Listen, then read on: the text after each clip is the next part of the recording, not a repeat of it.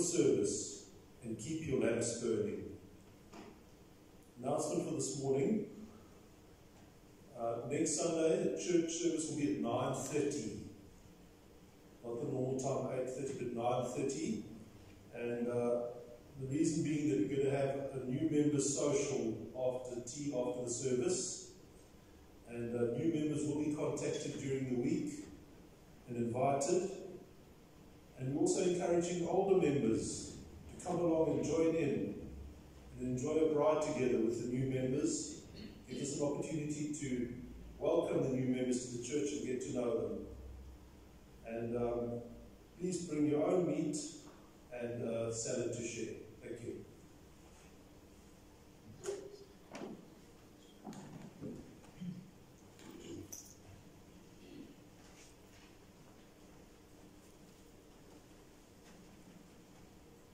We celebrate the service in the name of God the Father, the Son, and the Holy Spirit. Amen. Today we look back over the past year and we remember those who have gone before us into God's eternal presence. And I would like to read out the names of those who have passed away in the last year now and ask Diana to please come forward we will light a candle for each person actually ask one of you. If there's a family member of, or friend of that person here today, then we would like you to come forward and just light a candle for that person, and Diana will light a candle for those who don't have a family or a friend here today. Our Lord over life and death has called into his presence Gerald Bass. On the 13th of December 2021.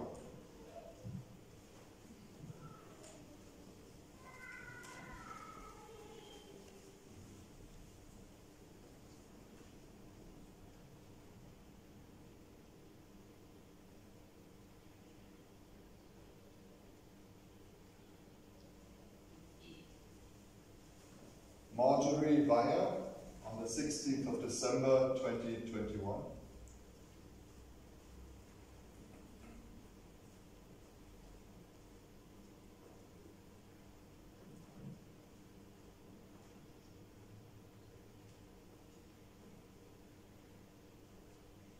Denzel Redloff on the 31st of December 2021.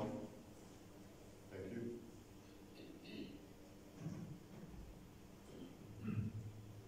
Robert Kretzmann on the 3rd of January 2022.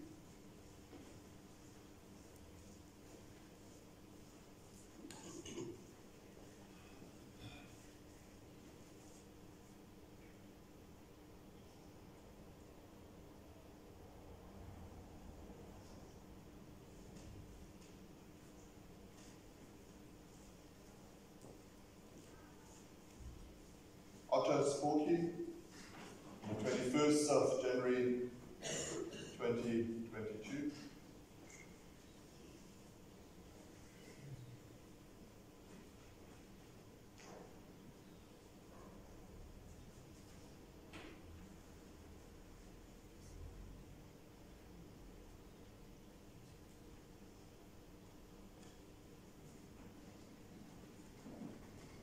Hulda Brandt on the 23rd of February.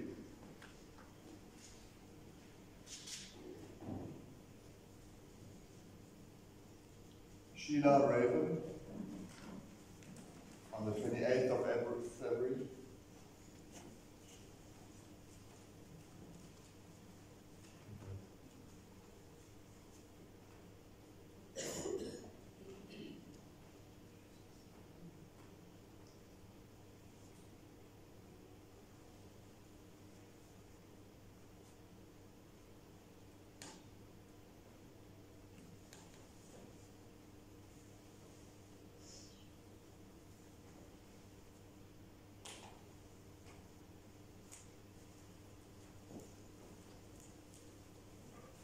Ellen Richter, 31st 31st of March this year.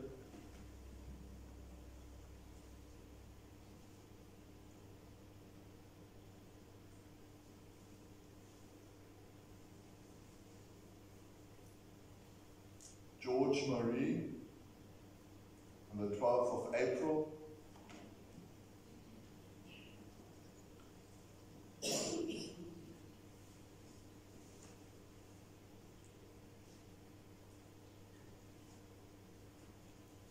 Sandra Hogan also on the 12th of April of this year.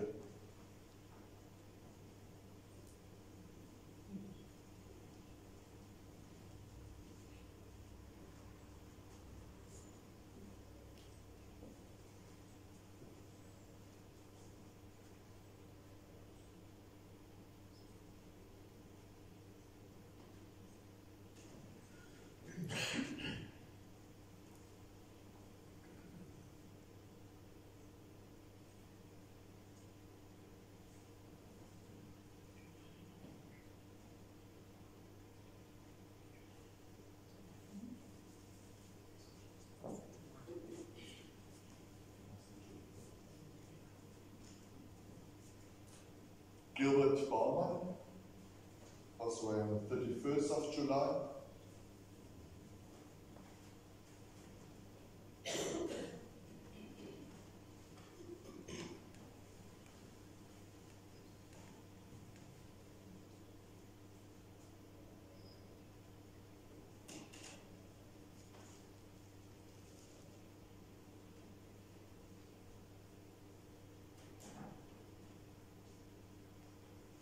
Ruth Lenz, 12th of August.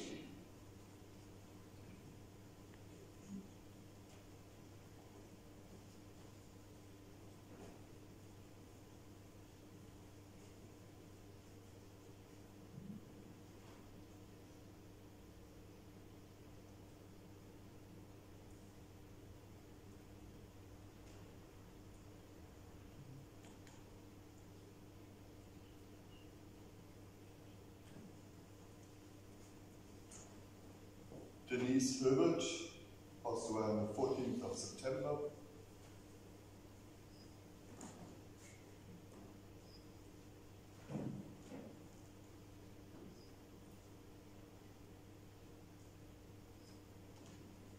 And Ivor Buss passed away on the 25th of October.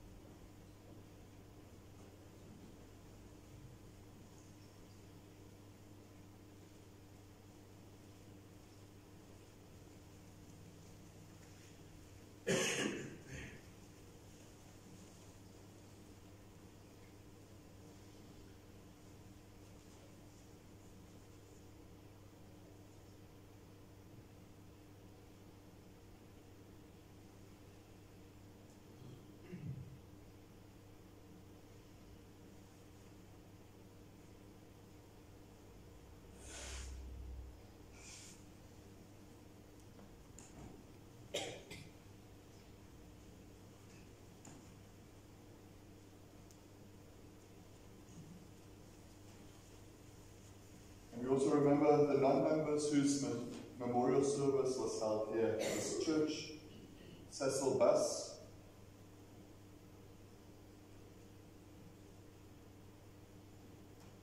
and Anthony Yules.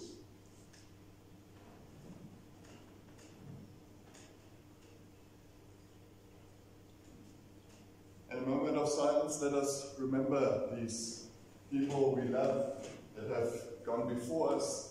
And I invite everyone who still wants to light a candle in remembrance of someone they miss now today dearly to come forward and light a candle. We have some extra candles at the back as well, so there are uh, more than enough for everyone.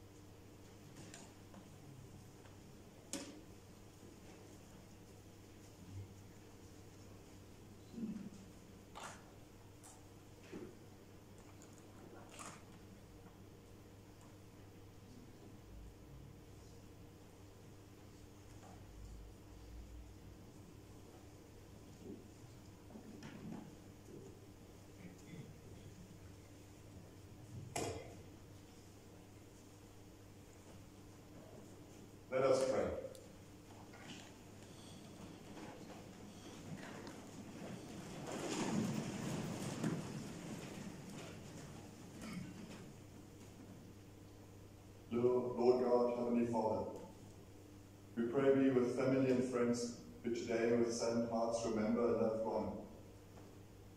Comfort them and give them the peace that only you can give. Help them, help them, and all of us to remember that you have conquered all death and suffering, and that there's nothing that can ever separate us from your love that is in Christ Jesus your Son. For if we live, we live for the Lord, and if we die, we die for the Lord. So whether we live or die, we belong to the Lord. Amen. Please be seated and let us now sing the first hymn, Lord of all gentleness.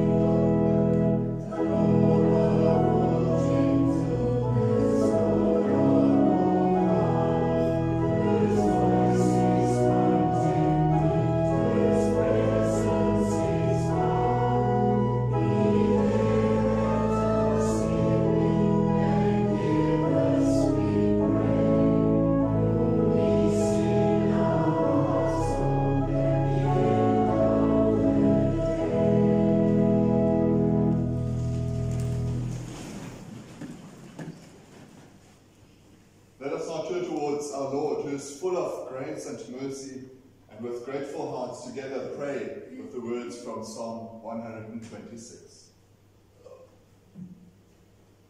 When the Lord brought back the captives to Zion, we were like men who dreamed. Our hearts were filled with laughter, our tongues with songs of joy. Then was said among the nations, The Lord has done great things for me.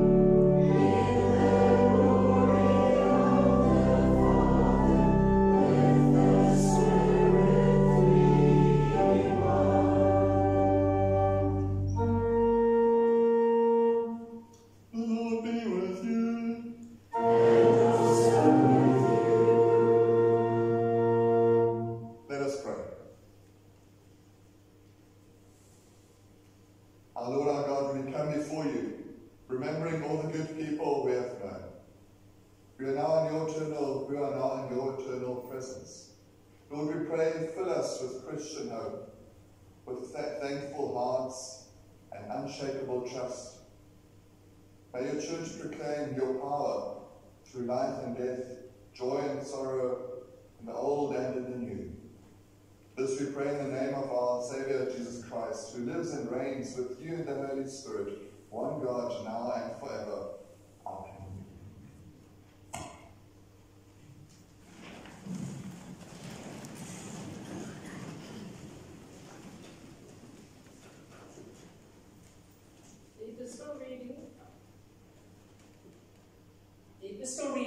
Today is written in chapter 21 of the book of Revelation.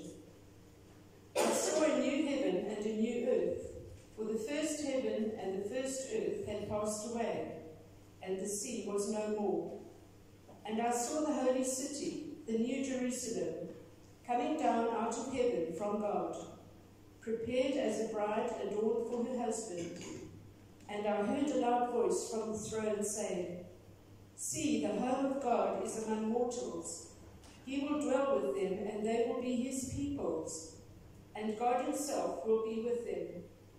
He will wipe every tear from their eyes. Death will be no more. Mourning and crying and pain will be no more, for the first things have passed away. And the one who was seated on the throne said, See, I am making all things new. Also, he said, Write this, for these words are trustworthy and true.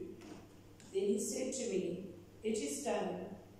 I am the Alpha and the Omega, the beginning and the end.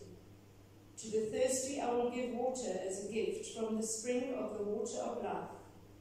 Those who conquer will inherit these things, and I will be their God, and they will be my children. This is the word of the Lord. Let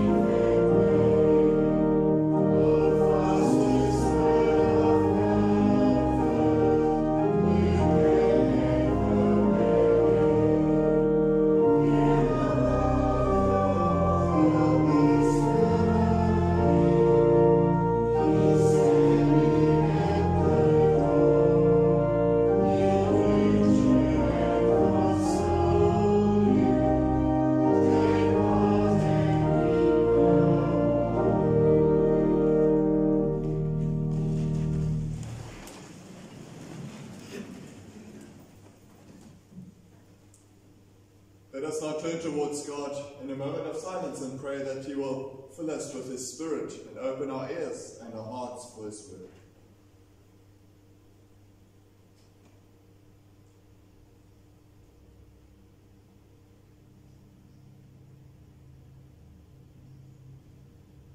And may the grace of our Lord Jesus Christ, the love of God, and the fellowship of the Holy Spirit be with us all. Amen.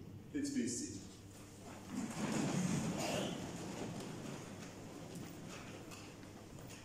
Dear congregation, the sermon text for this Eternity Sunday is taken from the Gospel according to Mark chapter 13 and reads as follows. Jesus said, Heaven and earth will pass away, but my words will never pass away. But about that day or hour, no one knows, not even the angels in heaven, nor the Son, but only the Father. Be on guard. Be alert. You do not know when that time will come. It's like a man going away. He leaves his house and puts his servants in charge, each with their assigned task, and tells the one at the door to keep watch. Therefore, keep watch, because you do not know when the owner of the house will come back, whether in the evening or at midnight, or when the cock crows, or at dawn. If he comes suddenly, do not let him find you sleeping. What I say to you, I say to everyone, watch. Dear congregation, there you have it. Heaven and earth will pass away. That is something we don't always really want to hear, do we? Heaven and earth, everything we know, will one day be no more. Something I don't even want to imagine, let alone see happening. And yet, deep within us, we all know that that is the reality of life. That at some, some point, it will all end. Something we, in a way, already realize and experience every time we lose a loved one. For those who remain, the loss of a loved one is as if heaven and earth has suddenly fallen apart. I don't know how I will cope without him or her.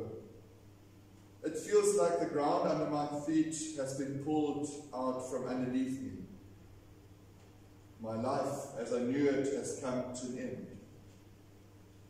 Just some of the things people say to me when I visit them after the passing of a loved one. Something many of you have experienced in your lives. An experience that brought us together today on this Sunday as we remember those who are no longer amongst us. It is a day of remembrance that may bring tears back into our eyes. And it is also a day on which we may ask ourselves, what is the meaning of death and dying? And what is there to live for? What remains when in the end everything we love and care about passes away? And when will it be my day to go? Yes, when will everything end? When will heaven and earth finally pass away? Questions humanity has asked itself throughout the ages. Especially the question about the end times, a topic about which numerous books have been written and many movies have been produced. It has become a big business that time and again captivates the imagination of the masses. And you also get a number of preachers who just love to preach about it, the end times, using fear to motivate people to repent and give their lives to Jesus in the hope that he will save them from the chaos and the suffering of this nearing doomsday. We, however, are today not interested in that kind of business. Instead, we are here today to seek comfort, to seek hope in the face of death and in the face of the end, when heaven and earth will pass away. And instead of speculating about it and trying to make our own sense of it, I suggest that we should rather seek answers in God's Word, and words spoken by Jesus, for example. One of the first things that Jesus said in our text about the end times, and especially about the time when heaven and earth will pass away, is that no one knows. About that day or hour, no one knows, not even the angels in heaven, nor the Son, but only the Father. In other words, whatever anyone says about the end times and about when it will happen, don't believe any of it. Because no one knows. Not the angels from heaven, not even the Son knows. The only one who knows is the Father, the maker of heaven and earth. So let us stop speculating about it and, more importantly, let us stop allowing this topic to instill fear into our hearts and souls. Instead, let us rather seek comfort in the fact that in the end, God alone knows the day and the hour. And let us rather focus on what it means to live in faith here and now, instead of living in faith, uh, instead of living in fear of what is still to come. Because that is what Jesus wants us to do. He wants us to live in faith. He doesn't want us to constantly live in fear. However, at the same time, Jesus also doesn't want us to pretend to be immortal, always pretending to be invincible and in control of everything, forgetting all about the fact that actually every single day on this earth is a gift from God. And that is why Jesus then paints this picture that wants to shake us up a bit. With it, with it he wants to say, wake up and stop sleepwalking through life. He just wants us to open our eyes and see that there's more to life than just that, what is right in front of us. He wants us to look beyond this life, beyond this world that is destined to pass away, and begin to see God's eternity already in the here and now. Yes, Jesus wants us to listen to our hearts. He wants us to really listen to that inner voice that tells us to live the life that we were called to live. And what that life looks like or what that means, Jesus tells us this story saying that it's like a man going away. He leaves his house and puts his servants in charge, each with their assigned task and tells the one at the door to keep watch. You and I are those servants that have been put in charge of this house we call life on earth.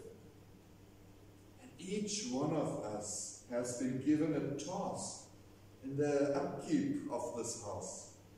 Yes, even though God knows that none of us are perfect, yet God has placed this house into our hands, saying, Now you take care of it for me. A huge responsibility placed upon us. Responsibility not to be taken lightly. Something that should inspire us to do, to do all we can to keep this house in good order encouraging us to do what we are supposed to do and to do it all in the name of our landlord, who is none other than God Self. While at the same time always remembering that it is just temporary. It is not for always. Sooner or later, the owner of the house will return, and then life as we know it will come to an end.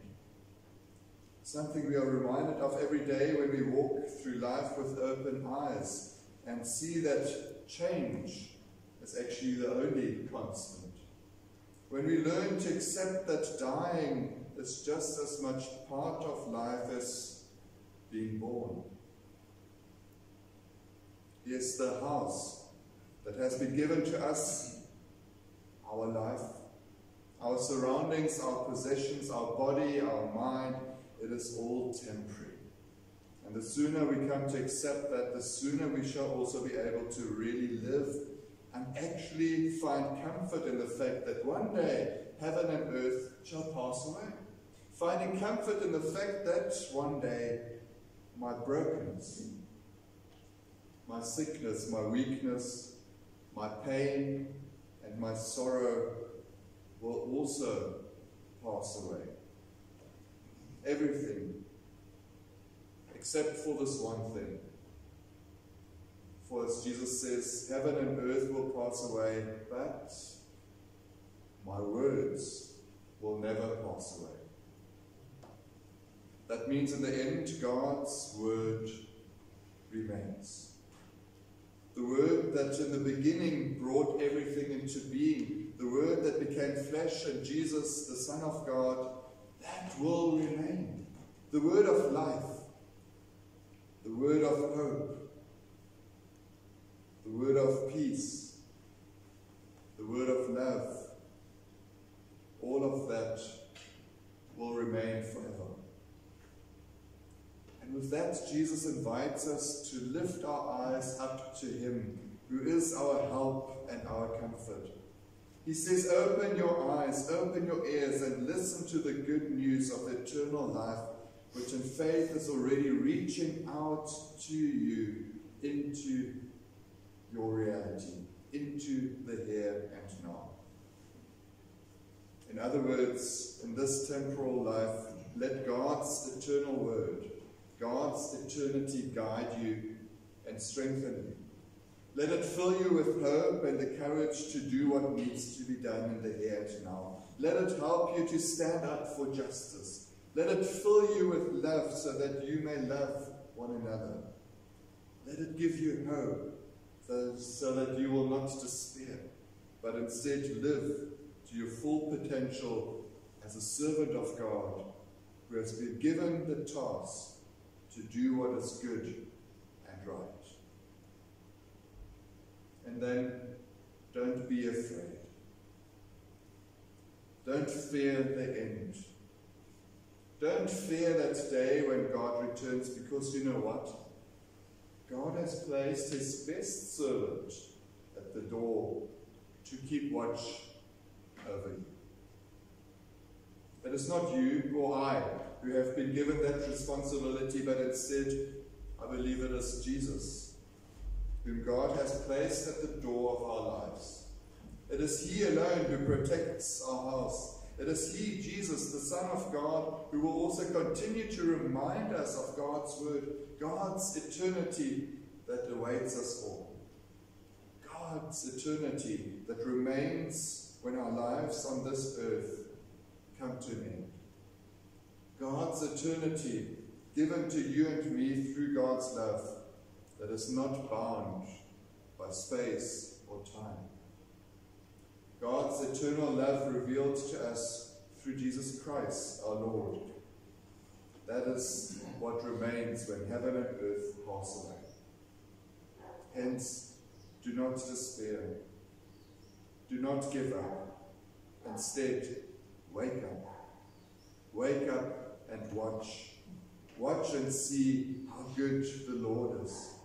In your sorrow and pain, reach out to God, the maker of heaven and earth, the sustainer of all life, the eternal God, who has already accepted our loved ones who have gone before us into his eternal love. Yes, look up and reach out to the giver of eternity. Put your trust in God alone, in the one who remains, the Father, the Son, and the Holy Spirit. Amen. And may the peace of God, which surpasses all our understanding, guard your hearts and your minds in Christ Jesus. Amen.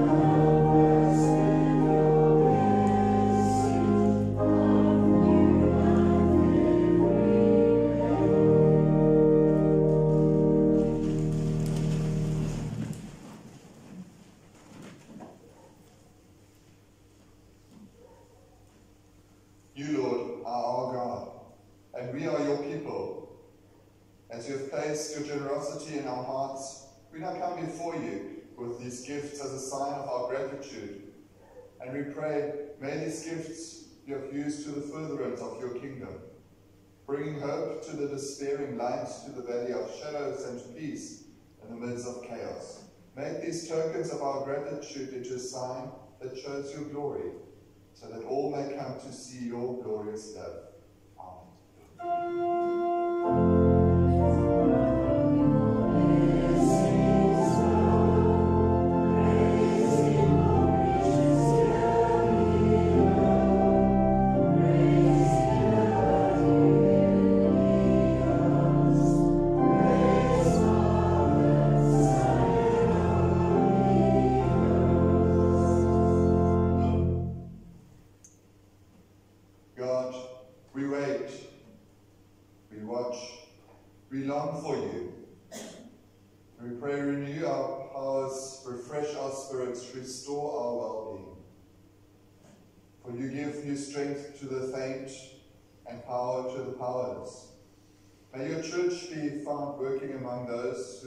Resources or rights. May we seek to care for those who cannot care for themselves. We pray for the lowly and the humiliated. Be to them a tower of strength. Lord, we pray for the great powers of the world, the strong and mighty nations, the mighty governments, and the global corporations. May their power be used properly for the poor, so that the poor may be protected, so that the weak are not exploited, and so that no one will be oppressed. Lord, we give thanks for all who have cared for us in times of weakness, for those who have uplifted our spirits and given us new hope. We pray for our friends and family, especially any who are finding life difficult at the moment. We pray for any in our community that may feel neglected or rejected. Lord, we pray for all who are in weakness of body, mind, or spirit, all who have come to the end of their strength. We think of all who are losing their mobility or agility, those who are losing their memories, and all who have lost their grip on reality. We think of those who no longer trust in anyone, and those who doubt the love of you, Lord. And we think of all who are caring for loved ones in illness. Lord, be with them and strengthen them in their faith. And Lord, we come now before you, and whatever is still in our hearts, we now bring before you in a moment of silence.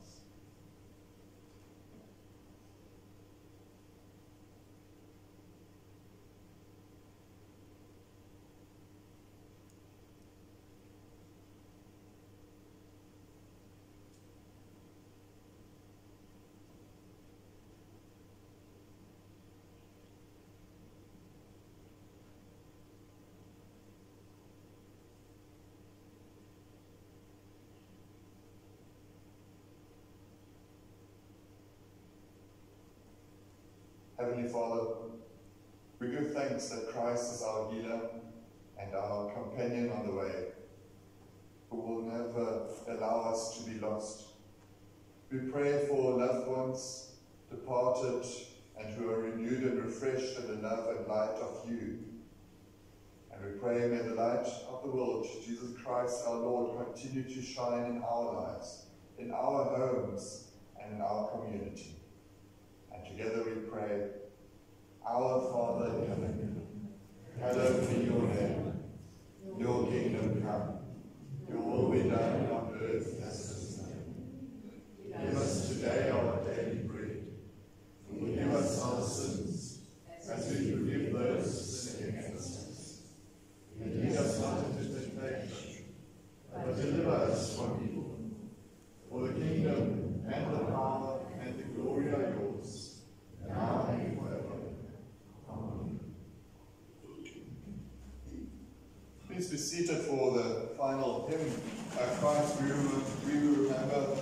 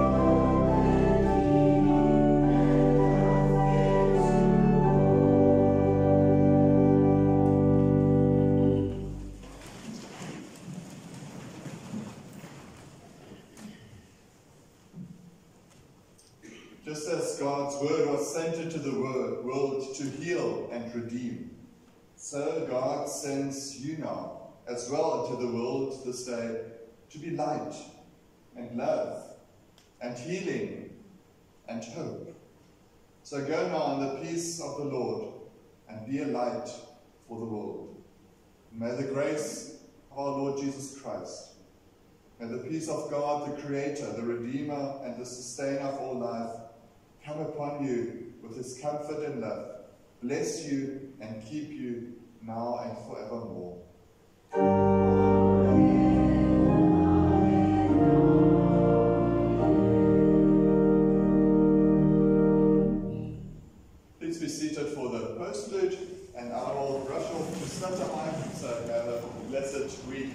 Hope to see you all next week for First Advent service at 9.30 for all new members and everyone who, just feels like partying after the service. You're all welcome to join us after the service next week. Thank you.